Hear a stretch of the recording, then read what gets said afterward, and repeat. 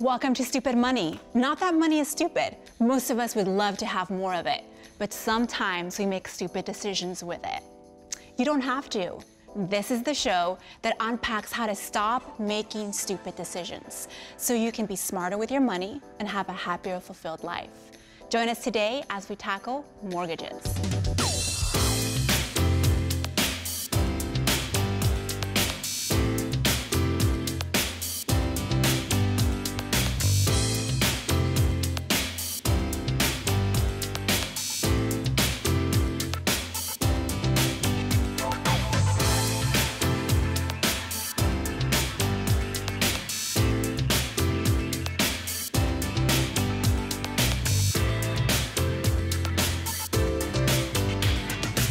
Thanks for joining us. I'm Diana and I'm here with John and Vivian. John, tell me one crazy, stupid thing we do with our money. One crazy thing is to buy subscriptions of magazines and never read them, or a repeating online cost that you never know what's going on. it's out of oh, control. Oh, Like my Audible subscription. Turns Oh, out I like yeah. books better. Vivian, yourself? Extended warranties. Those oh. things can be very expensive. Isn't it a good idea though? They can be very expensive and you never use them. And then suppose you get one for an, an appliance and it breaks down and you don't have the extended warranty. Guess what? That service call costs as much as that extended warranty.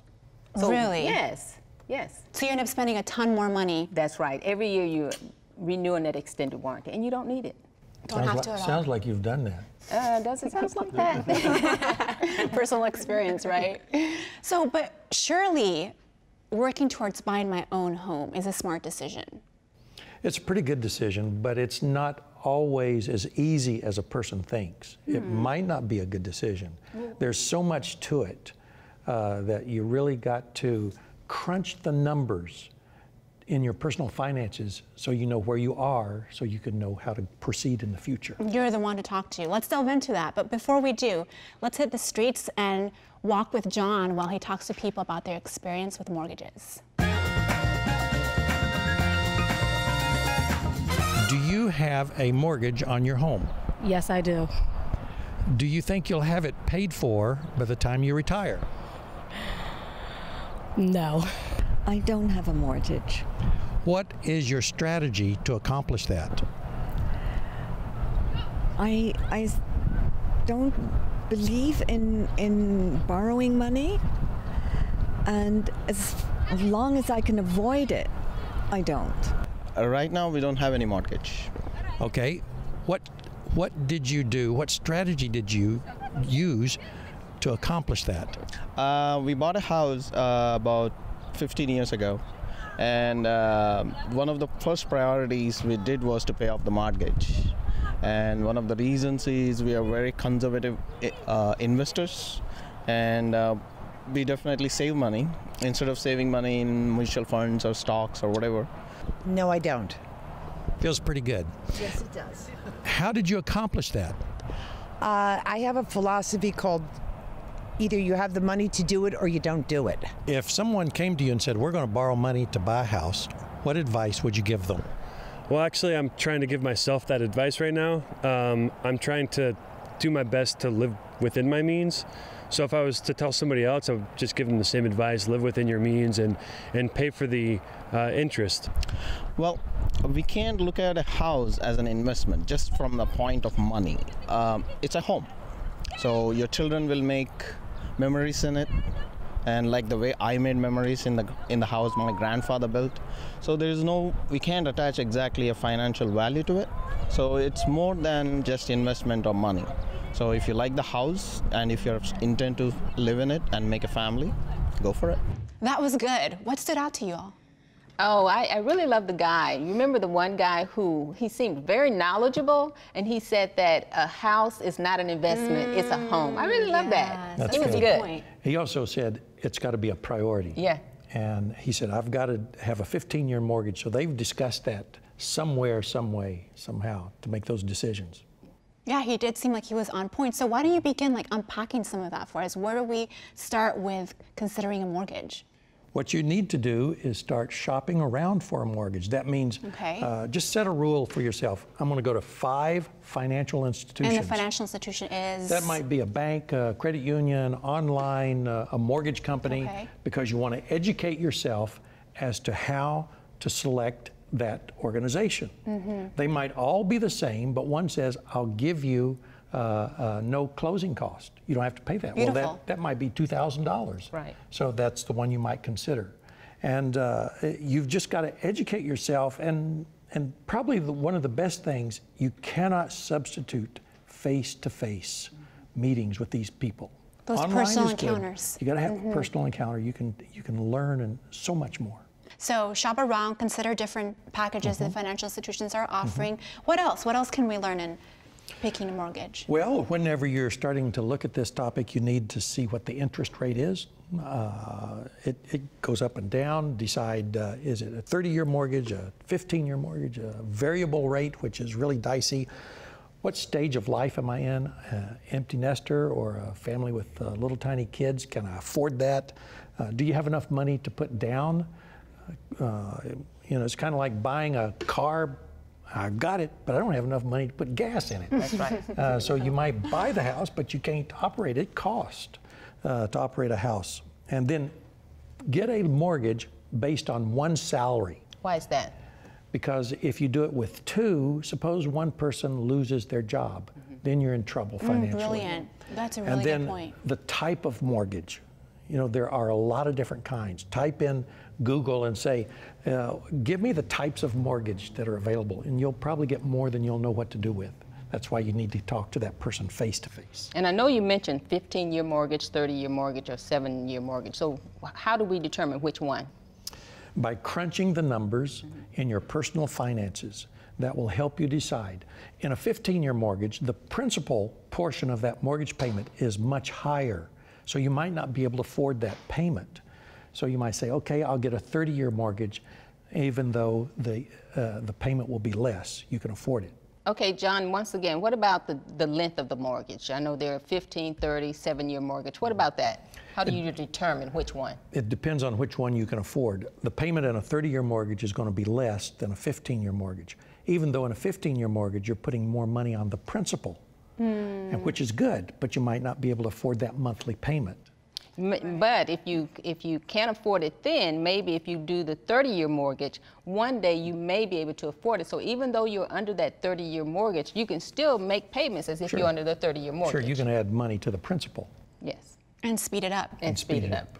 Got it. Well, have you all been practicing this in your life? I've been doing it for many, many years. That's how I have built equity in real estate. Most of people's wealth in this country is found in real estate. That's where their wealth is because they are trying to practice these principles of adding uh, money to their principal portion of their house payment. Now, do you have an illustration or a visual that you could show with us Sure, here is, here is a 30 year amortization schedule. And you see here's a, a month one through six, and then the next column is the date the payment is due. Then you have the payment, $899. The, pr- the interest is 750 the principal is $149, and the interest rate is 6% on a $150,000 loan. Hmm. So when you make that first payment, add another payment of $150, and you've saved yourself $749. Wow, That got it. shortens the payment, and it's like earning 6% interest on that $150. So make a double principal payment every month. So that's the key principle. Make a double payment. Yes, and if you can't make that principle, put something on that principle Just increase it. because that's building equity and you'll get it back when you sell. Well, I'll be honest, there's a lot of detail and moving parts to this, but I mean, because it comes like second nature to y'all, it just comes out just like that. But I'm encouraged by what you originally said, and that is start with talking to financial institutions to establish, right, those moving parts and what the options are for you. And I, I want to keep going, but before we do, why don't we take a quick break?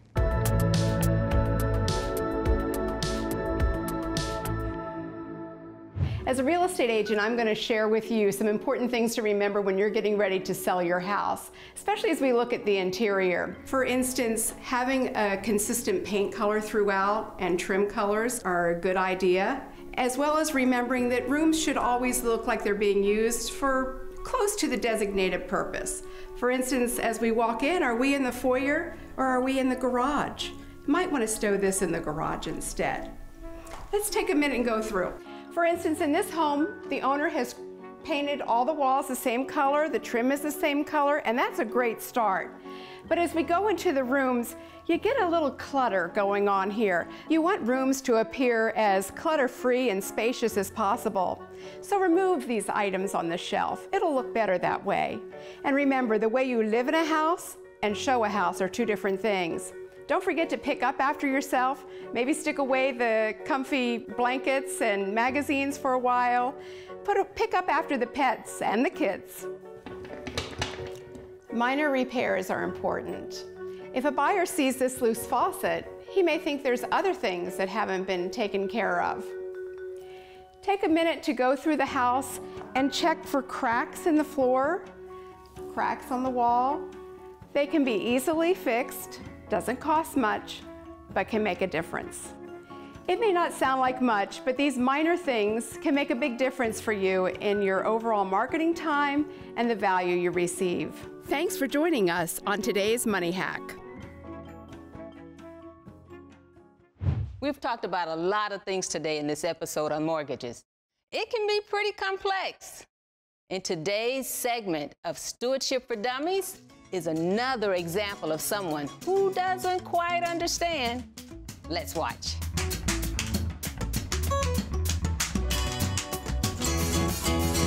Grandpa, did I see you at the bank yesterday? Yeah, Grandma and you thinking about getting a reverse mortgage or taking out a loan on the old homestead.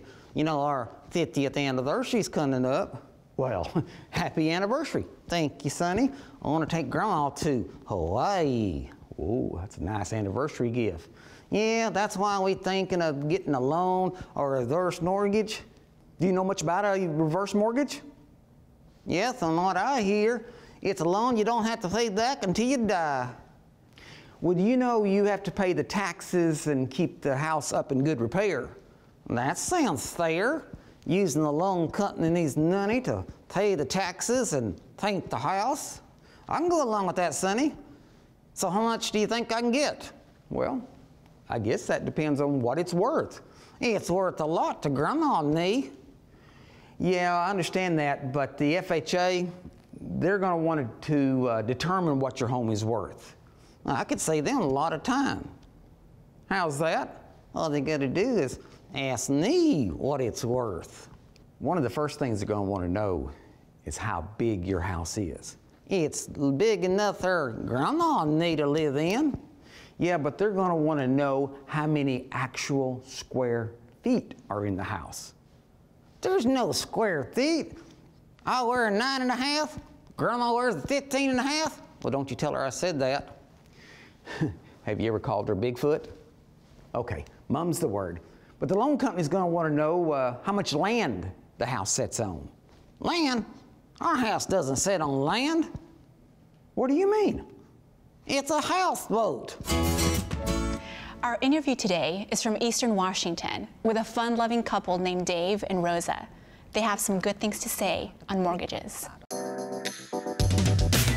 Thanks for joining us from Walla Walla, Washington. We're here with Dave and Rosa Gillum. How are you doing up there? Really good, thank you. It's a great day up here. Welcome to Stupid Money and Things People Do With It. We're talking about mortgages in our show today. Can you guys tell me about your first mortgage? Sure. We moved to uh, Western Washington after serving in Montana for four years in a rental and we realized very soon that that was not what we wanted to continue. And uh, we found a nice little home in Chehalis, Washington, and uh, there was only one problem. We didn't have money to buy it, but we wanted to buy it. so how did you go about doing that? If you didn't have any money to buy it, how, what did you do? We were very fortunate to have a good employer, the, the, Washington Conference, and they loaned us the down payment for the money. Okay, so uh, were both of you working during that time? No, I had decided that I was not going to work because I wanted to be a stay at home mom and raise our children without needing babysitters. So you decided not to work because if you had two incomes, when the kids came along, you would have a financial adjustment. That's right. Yeah, I, I just knew that I didn't want to have to be forced to work for a certain lifestyle. My kids were more important to us than that. So you lived very, very frugal. yes, we did. And I uh, encouraged my wife to go to work when we first got married. And she looked at me and she says, No, I'm not going to work. And I was very puzzled, nonplussed about it. And I asked her why, and that's when she told me the reason, and I really highly respected that. And later on, I was very glad that that uh, we had made that choice together. So that meant that there was no eating out at restaurants, and we preserved every bit of food that we could preserve to have at as low a cost as we could so that we could meet our goals. Living that frugal on one income, did you feel like you were missing out on anything? That's a good question.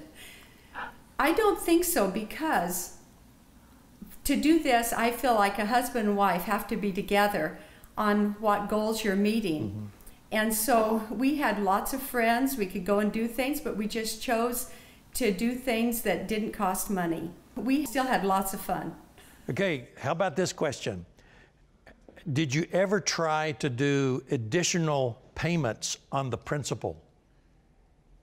Well, what happened when we def- uh, finally decided to get the house? We we were paying a double payment when we bought this little home in town. We had to pay the conference back with by the end of the year, which uh, took every bit of excess cash we had past the payment.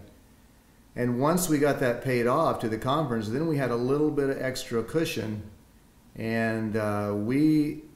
I had a revelation one day uh, that really was, uh, I guess I could say it just blew my mind because uh, I, I, started realizing the value of compounding. So you uh, consistently made additional payments to your principal. What happened, it was a rainy day. Uh, I think it was in January, in the middle of the winter. There was really not much I could do outside. So I sat down with my little Texas calculator, the latest technology of the day. and uh, I thought, what if I took that money I was paying to the conference to pay back the down payment, and if I applied that on the principal of the loan? and so I actually took the, the uh, balance of the loan and I added the additional payment and uh, multiplied, computed the interest, excuse me, and divided it by 12, and I was subtracted. And I did that. I had lots of time, uh, by the way, that day. And after several sheets of uh, the old yellow legal tablets, uh, subtracting month by month, I looked at how many months it took, and it was less than five years, and my mortgage was completely paid off from a 30 year down to a four point some years, saving something like $50,000. I, it really was revolutionary. Now, if you'd had a computer, you could have done all that on computer, but you did that amortization schedule longhand? That is correct. With a, with a little calculator? That is correct. Early on, you made a decision to try to not have any mortgages, and you worked toward that end. And that was probably an early home, but you probably had some other homes, and did you repeat that process? fortunately, the Lord blessed. Uh, he, I think the blessings are in, in His plan, His His plan of stewardship. He doesn't want us to be enslaved to the credit card companies. He doesn't want us to be enslaved to the banks all our lives. And so we decided to get on the positive side of the curve instead of instead of us always paying interest to the credit card and to the bank, we decided that we would have that money. And so once we paid our loans off, we started putting money aside and so when we it came time to buy a car, we had the cash. One thing that I think was very important to us too is that you make money when you buy something, not when you sell it. And so we always looked for something that we could enhance physically in the property and do some little changes that would increase its value when we sold it. What's the crazy? Have you ever done something really crazy with your money that, well, well that was a learning experience? well, one thing that we did that I could not stomach, uh, and that we started investing uh, in mutuals and in the stock market and things like that. And uh, that was really hard for me because I felt so out of control. I know other people have done very well in those areas and they have the stomach for it, but it was really tough for me to watch my money drop by 10, 20, 30%. And of course, they say if you're patient, it'll come back up, and it, and it always has. But I don't know if that you would call that crazy, but it was just a, it was a challenge for me because I like to I like to watch the pennies, and it's really hard to see uh, that value dropping. We read a book also called The Richest Man in Babylon. It teaches you to watch your chickens and not to let them get away, right? and and we felt like with a homeowner owning a home, why we could kind of control that chicken. Would you do it again?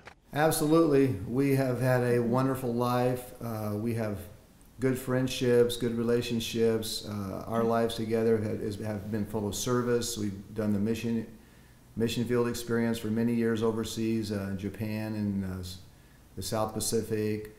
Uh, the Lord has just blessed in amazing ways, and I think a lot of young people I see they get in the the uh, mistaken belief that they have to have things now.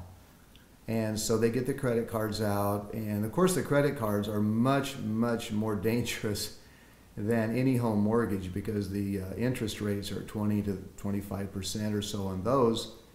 And they can really get themselves in trouble fast. And we decided a long time ago, our first couple years of marriage, that we would pay our credit cards off every month at the end of the month and that we would just not waste money on interest. And so, yes, we would do it all over right now, after being married 40 plus years, we have the financial security that uh, we did not have then, but over the years, that money compounds, that money starts growing, and that money actually goes into your pocket and it goes, it allows you to be more generous with your your uh, charities. Uh, we have several charities that we really like to support, and we have the resources that it, that it's really fun to support now. Last question.